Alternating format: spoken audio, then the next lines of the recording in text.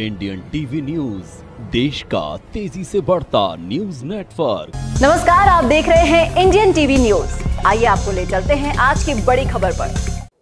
हम आपको बता दें कि जिला सिवनी मध्य प्रदेश के अंतर्गत आने ब्लॉक लखनादौन की सिविल अस्पताल लखनादौन के डॉक्टर अपनी मर्ज़ी से आते और जाते हैं। उसके बाद भी शासन, प्रशासन क्यों मौन है, समझ से बाहर है। अस्पताल की विडम्बना ये है कि यहाँ पाँच विशेषज्ञ चिकित्सक प्रतिदिन की सेवाओं के लिए जिम्मेदार होते हैं, जबकि सामान्य सेवा चिकित्सक सिर्फ़ एक ही रहता है, जो एमएलसी और पीएम और इमरजेंसी के साथ, ओपीडी, आईपीडी भी देखता है। जब तक सामान्य सेवा चिकित्सक की उपलब्धता अस्पताल में नहीं सुधरती, तब तक उच्च स्तर की सेवाओं का मिलना संदिग्ध रहेगा। क्योंकि तब तक विशेषज्ञ चिकित्सक को सामान्य सेवाओं को देखना पड़ता है और फिर विशेषज्ञ सेवाओं के लिए वातावरण और अवसर नहीं होता। फिर विशेषज्ञ का पूरा समय सामान्य सेवा करते हुए ही व्यतीत हो जाता है। सामान्य सेवा चिकित्सक को इमरजेंसी ड्यूटी के बाद एक ड्यूटी का ऑफ़ मिलता है। पर सिविल अस्पताल लखनदौन में। सामान्य सेवा चिकित्सक ऑफ़ खत्म होने के बाद भी सेवा नहीं देते और अगली इमरजेंसी ड्यूटी चाहे वो पाँच दिन बाद हो या आठ दिन बाद हो तभी आते हैं। आप इधर क्यों खड़े हो भैया? अभी टाइम कितना हो रहा है? से ज़्यादा हो गया। और अभी तक पर्ची काटने वाले कोई नहीं आए। उधर अस्पताल में बैठने वाले कोई है भी नहीं है? आपको समस्या जाती है? कहाँ से आए आप? पास पार से। आप इधर क्यों खड़े हैं भैया? तो अभी तक आपकी पर्ची नहीं कटी है। आप गाड़ी में देख कर बताएँ कितना टाइम हो गया। इसके बाद भी मतलब पर्ची काटने वाली मैडम जी नहीं आई हैं। क्या क्या समस्या को लेकर आए आप?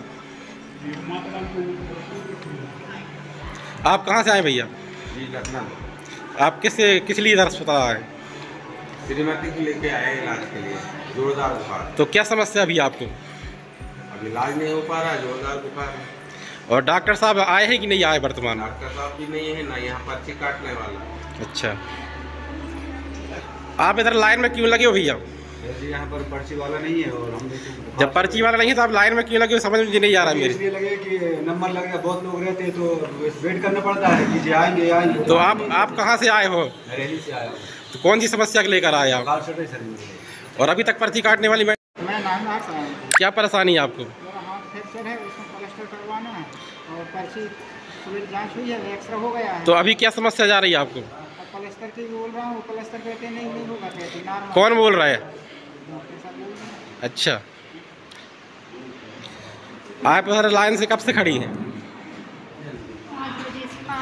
अभी तक आपका नंबर नहीं आया क्या? पर्ची नहीं कटी आपकी? पर्ची क्यों नहीं कटी? ये बता पाएँगे आप? पर्ची काटने वाली मैम लोग नहीं आई हैं। कौन सी समस्या को लेकर आप आए इधर? इसी तरह देश दुनिया की हर खबर को जानने के लिए देखते रहिए इंडियन टीवी न्यूज़। हमारे चैनल को सब्सक्राइब कीजिए और हमारे इस वीडियो को शेयर ज़रूर कीजिए। धन्यवाद।